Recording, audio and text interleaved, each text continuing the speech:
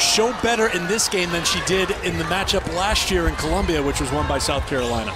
Both teams going to their bench. Brink now on